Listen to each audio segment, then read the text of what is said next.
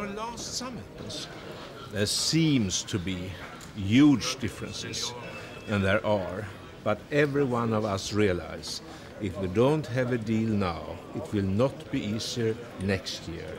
And uh, for a prime minister, it is a very frightening perspective to realize that after next year it will go to the parliament, and I don't think we like that. So uh, the, the chances for a deal is still quite good, I think.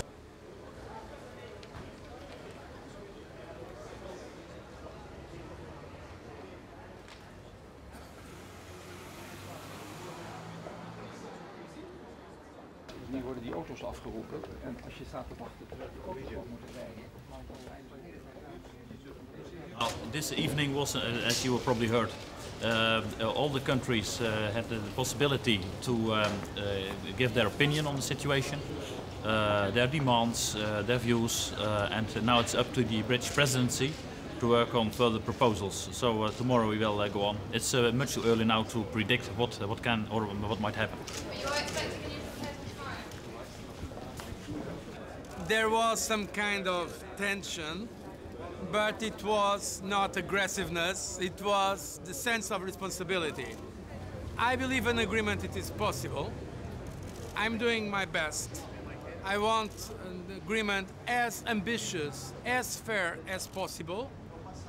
So there is still a long way to go, but I believe an agreement is possible.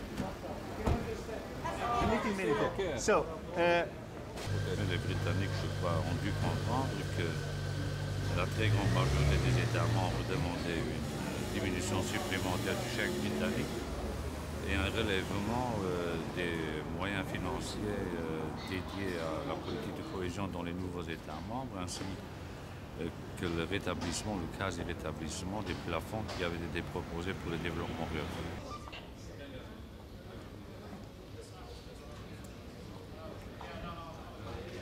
A great number of delegations were asking for a further reduction of uh, the British rebate, not because we would be uh, hostile as far as British interests are concerned. Just, that's not really my point, not at all. But because we want Britain, like the others, to take their fair part, uh, their fair share in the uh, cost of the enlargement. That's, uh, that's the point.